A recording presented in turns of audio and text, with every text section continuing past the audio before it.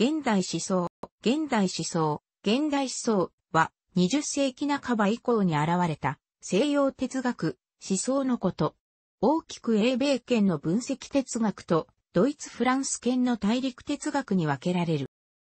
英米圏では論理実証主義を経て分析哲学が発展し、これは人工言語学派と日常言語学派に分かれた。ドイツではフッサールの現象学、ディルタイの解釈学、その二つを時間論の上で統合しようと試みた、マルティン・ハイデッカーの現象学的解釈学、基礎的存在論が多くの学問分野に影響を与えた。フランス現代思想では、ドイツ発祥の現象学を承継する過程で実存主義が起こった。その後、ソシュールを祖とする構造主義が起こり、実存主義は廃れていったが、さらにこれに対する反動として、ポスト構造主義が起こるという大きな流れがある。このような大きな流れはやがて相互に影響を与え始める。さらに、ドイツでは、ヘーゲルの弁証法を基礎に、マルクス主義哲学と科学を統合し、非合理的な社会からの人間の解放を目指す、フランクフルト学派の批判理論が、分析哲学を実証主義であると批判して対立していたが、戦後いわゆる実証主義論争を経て、英米圏の分析哲学の研究成果を受け入れる流れができた。逆に、英米圏でも大陸哲学の研究成果を受け入れ、ポストモダンの潮流を受けたカルチュラルスタディーズ、ポストコロニアリズムなどの新たな学問の流れが出てきた。19世紀後半から20世紀前半にかけての数人の哲学者、思想家が現代思想に大きな影響を与えた人物として列挙される。20世紀半ば、英米哲学では分析哲学が支配的になるが、ヨーロッパではゴットロープ・フレーゲ、バートランド・ラッセル、ルートビヒミト・ゲンシュタインらを先駆者とする論理、実証主義の運動が始まっていた。論理実証主義によれば、論理学と数学の真理はトートロジー、常に的なる論理命題であり、科学の真理は実験的に検証できる。倫理学、美学、神学、刑事上学及び存在論の主張を含めたの主張はどれも意味がないとした。この理論は検証理論と呼ばれた。アドルフ・ヒトラーとナチス党の勃興により、多くの実証主義者がドイツからイギリスやアメリカに逃れ、その後の年月ではアメリカにおける分析哲学の支配を補強することになった。大陸哲学ではニーチェ、マルクス、フロイドの3名がよく名前が挙がるが、他には、フッサール、ソシュールなども重要視される。サイモン・クリッチリーによれば、分析哲学と大陸哲学の分岐地点は2つあるとされている。一つは、イマヌエル・カントの哲学に対する二通りの反応と評価であり、英米哲学は純粋理性批判の成功した認識論に、大陸哲学は判断力批判の実践にそれぞれ強い関心を持った。もう一つは、フランツ・ブレンターノらの心理主義に対する二人の哲学者の異なった反応で、そのうちの一人は大陸哲学のフッサールであり、もう一人は分析哲学のフレーゲである。この二人からそれぞれの哲学の流れは分岐し、ダメットはそれをフッサールを国会に注ぐドナウ川に、フレーゲを北海に注ぐライン側に例えている。フッサールの影響は今日大陸哲学のみならず、英米哲学にも広く及んでいるが、フッサールは数学、論理学の基礎を生物学的、心理学的な過程に求めようとする心理主義、ことに意味、思想までも表彰と捉えることに強く反対していたが、この点はフレーゲも同様であった。しかし、両者は意味、思想という論理的なものと心理的なものを厳密に区別するという点にいて共通していたが、フレーゲは心理的なものから論理的なものの領域を守るという関心から言語表現の内包、意味が外縁、指示対象を決定すると考えて、現在の分析哲学の基礎を作った。これに対し、フッサールは心理的なものと論理的なものがどのように相互に影響を与えるのかという関心から、ノエシス、ノエマの関係の解明に向かい、現象学を創始することになったのである。フッサールとフレーゲは、共に数学基礎論という極めて専門的、技術的な議論に関わりながら、自己の思想を確立していったのであるが、当時は、アインシュタインの相対性理論や量子力学の著しい発達に象徴されるように、科学の世紀と呼ばれるほど、科学の発達した時代であった。ドイツでは、教育と研究の一体化という革命的な発想に従って、ベルリン大学が創設されると、イギリス・フランスに近代化の遅れるドイツの産業形成を支え、歴史学、社会学、教育学、民族学など新たな学問分野が次々と生じ、数学、物理学、科学など既存の学問分野も急速な発展を遂げ、今日の大学の基本的な諸分野がほぼその骨格を表すことにな時代でもあった。教養としての学問から職業としての学問という転換を果たしたドイツの大学は各国のモデルとなり、各国で専門職としての学者集団が生じたのである。このような当時の背景事情は、哲学にも当然のことながら大きな影響を与え、従来哲学の一分野であった論理学、数学、心理学などなどが独立の学問分野として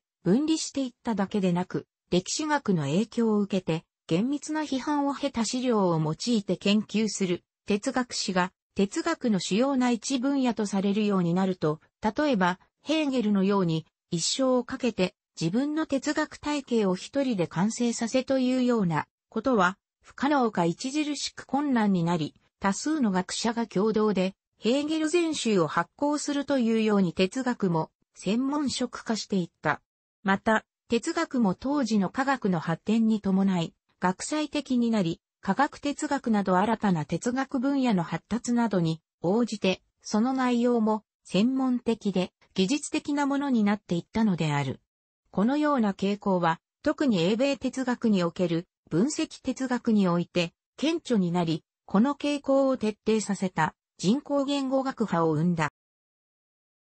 20世紀初頭にゴットロープ、フレーゲやバートランド・ラッセルによって記号論理学が成立すると、哲学の専門職化という時代背景のもと、スコットランド常識学派の成果など様々な影響を受け、これを吸収していった分析哲学のうち、前期ウィトゲンシュタインの論理哲学論考の影響を受けた潮流は、論理学的な人工言語を重視して、論理実証主義運動を起こし、人工言語学派を形成したのであるが、これとは、正反対に、後期ウィトゲンシュタインの哲学探求の影響を受けた潮流は日常言語を重視して日常言語学派を形成した。W.V. オークワインは論理実証主義者ではなかったが、哲学は知識の明晰さを追求し世界を理解することでは、科学と肩を並べていくべきという見解は同じだった。クワインはその論文、経験主義の二つのドグマ、競技で論理実証主義者や知識の分析、総合区別を批判し、正当化の整合説である、信念のクモノス、ホーリズムを提唱した。クワインの認識論では、孤独の場合に、いかなる経験も起こらないので、あらゆる信念あるいは経験が全体と結びつけられる。知識に対して実際に全体的なアプローチがあるとしている。クワインは翻訳の不完全性理論の一部としてガバガイという言葉を編み出したことでも有名である。クワインのハーバード大学の教え子ソウル・クリプキは、分析哲学の影響を大きく受けた。クリプキは、ブライアン・ライターが行った調査で、過去200年間の最も重要な哲学者10決に入っている。クリプキは4つの哲学論文で特によく知られている。すなわち、様相論理学と関係論理学のためのクリプキ、意味論、彼がまだ10代の間に開始したいくつかの論文に掲載された。1970年にプリンストン大学で行った講義、名指しと必要性、1972年と1980年に出版、言語哲学を再構築し、刑事上学を再度尊敬できるものにした、ウィトゲンシュタインの哲学の解釈、心理論である。また、集合論についても重要な貢献を果たした。クワインのハーバード大学でのもう一人の教え子デイビド・ケロック・ルイスは、ブライアン・ライターが行った調査で、20世紀で最も偉大な哲学者の一人に入っている。論議を呼んだ、様相実在論の提案でよく知られており、具体的で因果的に孤立した可能世界が無限にあり、その中の一つが我々の世界だと主張している。これら可能世界は、様相論理学の分野で出てくる。トーマス・クーンは科学史や科学哲学の分野で広範な業績を残した重要な哲学者かつ著作家だった。その有名な著作、科学革命の構造は学術文献で引用されることが多い。クーンはこの中で科学者は新たに解くべきパズルを見つけるので異なるパラダイム、理論的枠組みを通って前進し、問題に対する解を見つけるための苦闘が広がると、世界観にシフトがきことし、これをパラダイムシフトと名付けた。その功績は知識社会学におけるマイルストーンと考えられている。第二次世界大戦以後、世界はアメリカ合衆国を中心とする西側世界とソビエト連邦共和国を中心とする東側世界に対立する冷戦時代に入っていった。このことは西ドイツと東ドイツに分裂を余儀なくされたドイツの思想界に決定的な影響を与えた。西欧のマルクス主義者は、ソ連型のマルクス主義、マルクス・レーニン主義、その後継としてのスターリン主義に対して、異論や批判的立場を持つ者も少なくなかったが、最初に西欧型のマルクス主義を提示したのは、哲学者のルカーチだった。ドイツのフライクフルト学派と呼ばれるマルクス主義者たちは、アドルノやホルクハイマーを筆頭に、ソ連型マルクス主義のみならず、西洋文明における伝統的理論を批判し、かかる理論が生み出した全体主義を批判する、批判理論と呼ばれる新しいマルクス主義を展開した。これは、ヘーゲルの弁証法を基礎に、マルクス主義哲学と科学を統合し、非合理的な社会からの人間の解放を目指すというものであり、フロイトの精神分析を応用する。批判理論は、まず、デカルト的な主観、客観の二項対立を前提としている伝統的理論を批判する。このような対立図式は支配される客体としての自然を分析して関連する。そのため、学問は分析される対象ごとに分断され、専門化、技術化していくが、諸学問は人間の解放を目指すという目的のため、統合されなければならないのである。また、伝統理論は世界を支配される客体として自然の相対と見るため、現状追認のためのイデオロギーとして機能する。故に、世界はマルクス主義的な観点から具体的な自然に対して労働を加えて作られたところの歴史的社会的な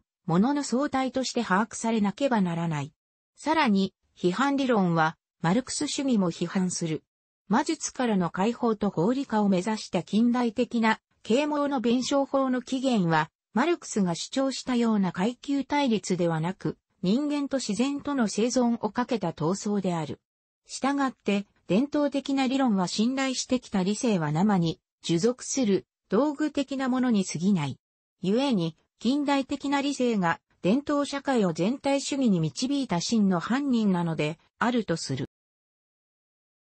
フランス実存主義のソサルトルは、主張、存在と無、現象学的存在論の試み、1943年において、今まさに生きている自分自身の存在である実存を中心とする存在論を展開した。サルトルの思想は、特に無神論的実存主義と呼ばれ、自身の講演、実存主義はヒューマニズムであるかにおいて、プラトン・アリストテレスに起源を有する本質存在が事実存在に先立つと右伝統的刑事上学のテーゼを逆転して、実存は本質に先立つと主張し、人間は自由という刑に処せられていると述べた。もし、すべてが無であり、その無から一切の万物を創造した神が存在するならば、神は神自身が創造するものが何であるかをあらかじめわきまいているはずである。ならば、あらゆるものは現実に存在する前に、神によって先だって本質を決定されているということになる。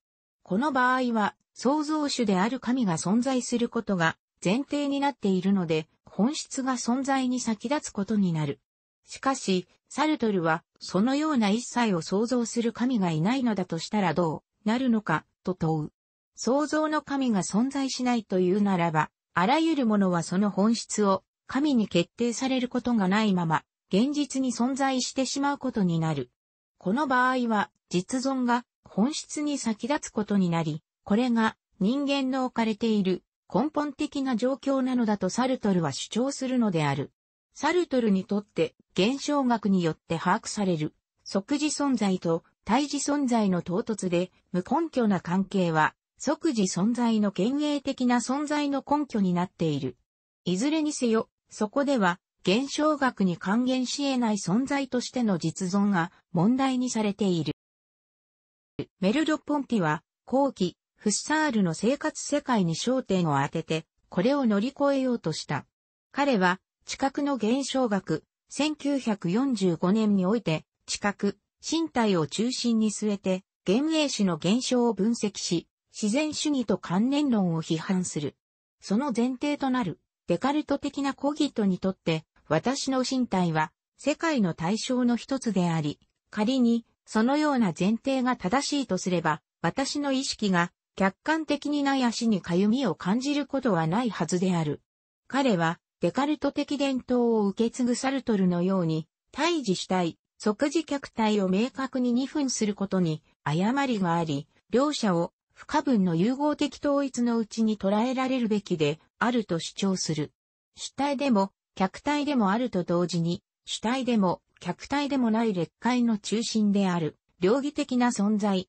それが体である。生理的な反射でさえ、生きた体が環境に対して有する全体的態度、意味の把握を伴うし、その全体性は決して私の反省的意識に還元し尽くされることはない。私と世界の間の体による関係は全体的な構造であるばかりでなく、時間的に発展する構造でもある。彼にとって即時存在と対時存在の対立は以上のような構造を有する、より一層深い媒介の所産なのである。このようなメルロポンティの身体理論は、フロイトと容易に結びつく。このような構造に関する理論が身体論に適用されるだけでなく、これを超えて社会と個人の関係に拡張されるまではそれほどの時間を要しなかったのである。存在と無によって一躍時代の長寿となったサルトルは、その後、弁証法的理性批判、1960年において、実存主義をマルクス主義の内部に包摂することによって、私的唯物論を再構成し、ヘーゲル・マルクス的な歴史主義と、デカルト・フッサール的な人間主義との統合を主張するようになったが、その後、サルトルとクロード・レビイコールストロースの論争をきっけに、マルクスの上部構造、下部構造、生産力、生産関係といった構造的な諸概念が実体化されていること、また、デカルト・フッサール的な近代的な主体を思想の前提として実体視していること批判し、構造主義が台頭するようになった。1966年、ストラスブール大学に橋を発した学生運動はフランス全土に拡大し、いわゆる5月革命が起こると、あろうことか本来労働者の側にあるはずのフランス共産党がストライキを抑え込み、当時の左翼文化人もこれを支持し、マルクス主義への民衆の幻滅を後押し、マルクス主義の退落とともに、近代的な主体という概念を前提に、積極的な政治参加を肯定したサルトルの実存主義も運命を共にすることとなった。5月革命の結果は、左翼勢力が民衆の支持を失い、保守勢力による安定的な政治、ハイテクを背景にした大量消費会の実現を準備したのである。そして実存主義、マルクス主義を批判してきた構造主義にも批判が生じ始める。構造主義は主体たる人間が無意識的に普遍的な構造に規定されていると主張し、現象の背後にある構造を分析することによって、あるシステムの内的文法を取り出すことができ、各システムはそれに従って作用する。そこでは、あらゆるものが予想可能になり、偶然性や創造性といったものが排除されてしまうのである。いわゆるポスト構造主義の論者とされる者たちは、構造主義の持つ構造を性的で普遍的なものとし、差を排除する傾向に対して、それは西洋中心のロゴス中心主義であるとして、意義を申し立てのである。デリダによると人間が言葉、ロゴスによって世界のすべてを構造化できるという発想自体、実存主義、マルクス主義と同様に、西欧刑事上学から抜け出せておらず、構造主義によって刑事上学を解体しようという試みも、また刑事上学に過ぎないと批判し、脱構築による階層的な二項対立を批評する。ミシェル・フーコーは当初構造主義者と見られていたが、権力の構造を暴くことにより、西欧的な理性、絶対的な真理を否定していることから、ポスト構造主義者と見られるようになった。そのような状況下において、リオタールは、ポストモダンの条件、1979年を表したが、彼によれば、ポストモダンとは大きな物語の終焉なのであった。ヘーゲル的なイデオロギー闘争の歴史が終わるといったコジェーブの強い影響を受けた考え方である。まさに、マルクス主義のような壮大なイデオロギーの体系、大きな物語は終わり、高度情報化社会においてはメディアによる記号、象徴の大量消費が行われるとされた。この考え方に沿えば、ポストモダンとは民主主義と科学技術の発達による一つの帰結と言えるということだった。このような文脈における大きな物語、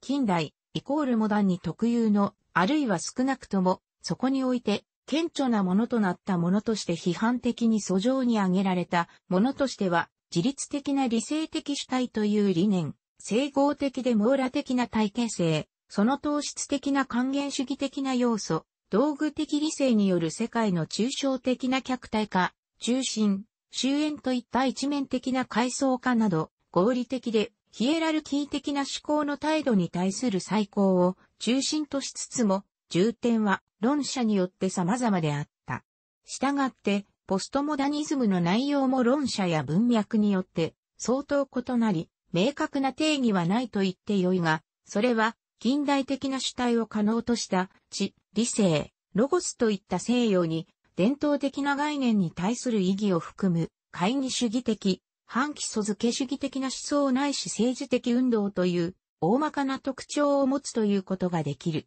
その意味で単なる学説、思想ではなく、より実践的な意図をも包含するムーブメントと言えるのであ。それは、左翼なき社会、大量消費社会において、自由と協楽を享受しながらも、反権力、反権威である続けるための終わりない闘争なのである。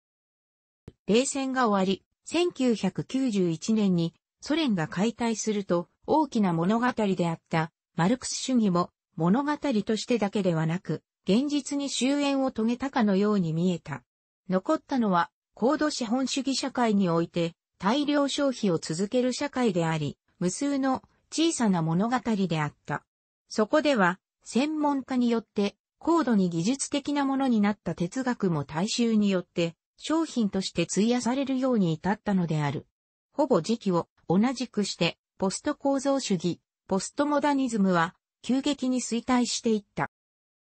1980年代、カルチュラルスタディーズとポストコロニアリズムという二つの思想潮流がほぼ同時期に発生し、相互に影響を与えつつ発展していった。カルチュラルスタディーズはリチャード・ホガードが初代所長となったバーミンガム大学現代文化研究センターを起源の一つとし、スチュアート・ホールとディック・ヘブリジ、ポール・ギルロイらの活動によって発展し、各国に広まっていっていった。ホガートは大学卒業後しばらくの間 adult education、日本でいうところの夜間学校に類するもので教鞭をとっていたことがあるが、このことに象徴されるように、カルチュラルスタディーズの面々は英国の高等教育と大衆文化の関係に直面し、その問題の分析に当たった。そのため文芸批評も分析の対象とするだけでなく、その中でも、いわゆる高級文化のみならず、サブカルチャー、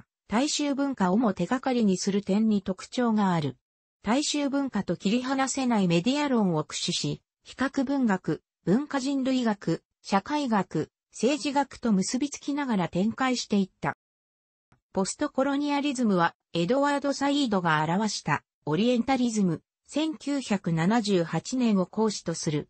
サイードは、ミシェル・フーコーに影響を受けつつ、第二次世界大戦後植民地だった地域は次々に独立を果たしていき、また、戦後人文学研究の中心地となったアメリカ合衆国で多くのマイノリティの2世、3世が大学で学位を取るようにな時代を背景に西洋中心主義的な言説によっていかにオリエント、本書で問題とされているのは東洋ではなく中東アラブが構築され、それがいかに権力イコール地と結びついているのかを分析したのある。ポスト構造主義、ポストモダニズムの影響のもと、文化人類学、社会学、歴史学、文学と結びつきながら展開し、マハトマガンジーやロジンなどの非西洋の思想に光を当てようとしたのである。アメリカ合衆国が設立された当時は、社会や政治への関心がアメリカの哲学を支配していたが、分析哲学者たちは認識論的な問題、言語や科学に関する問題や概念を主に扱っていたため、アメリカの哲学において1970年代まで、あまり社会や政治といった実践の問題には十分に関心を払われていなかったが、冷戦の終わりとほぼ時期を同じくして政治と社会に対する関心へ回帰す潮流が生まれる。1971年、ジョン・ロールズはその著書、正義論を出版した。この本では、社会契約論の一形態に基づくロールズの公正さとしての正義観を披瀝した。ロールズは彼の概念の原点を説明するために、無知のベールと呼ぶ概念機構の利用を提案した。ロールズの哲学では、原初状態がトマス・ホッブズの自然状態に対する相互関係である。この原初状態では、人は無知のベールの影にあると言われ、それは人それぞれの性格に気づかず、人種、宗教、富などの社会における位置を気づかせないようにしている。構成の原則はこの原初状態にある間に分別のある人によって選ばれる。構成の二つの原則は、平等な自由の原則と社会及び経済的、不平等の分布を支配する原則である。ここからロールズは、格差原理に従う、配分の構成の仕組みを論じ、社会及び経済的不平等すべては、最小の利点のある最大の恩恵であらねばならないと言っている。自由意志論者、ロバート・ノージックは、ロールズの考えを政府による過度の統治と権利侵害を促進しているとみなし、1974年にアナーキー、国家、ユートピアを出版した。この本では、最小の国家を論じ、個人の自由を防衛している。政府の役割は、警察の保護、国家防衛及び裁判所の管理に限定し、現代政府によって通常に行われている他の任務、すなわち教育、社会保障、福祉等々は宗教団体や慈善団体など自由市場で運営される民間組織にとって変わられるべきだと主張している。ノージックはその見解を公正さの受験理論と主張し、もし社会の誰もが獲得、移行及び調整の原則に従ってその所有物を獲得するならば、その配分がいかに不公平であろうとも、割り付けのパターンは公正であるとしている。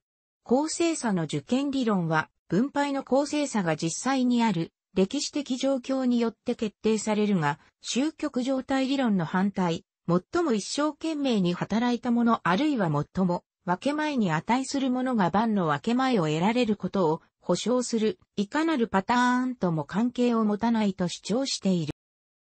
アラスデア・マッキンタイヤはイギリスで生まれ教育を受けたが、アメリカ合衆国に40年間ほど生活し、働いた。マッキンタイヤは古代ギリシアにおいて提唱された道徳論である、特倫理学に関する心を再生させた功績のある、卓越したトマス・アクイナス主義政治哲学者と考えられている。現代の哲学と現代の生活は、理路整然とした道徳法の欠如によって特徴づけられ、この世界に住む大半の個人はその人生に意味ある目的感がなく、純粋な社会も欠けていると主張している。マッキンタイヤは、このような状態を正すための適切な方法は、個人が適切に美徳を獲得でる純粋に政治的な社会に戻ることであると考えている。学術的哲学とは別に、政治と社会の関心は、公民権運動とマーティン・ルーサー・キング・ジュニアの著作が中心的話題になった。楽しくご覧になりましたら、購読と良いです。クリックしてください。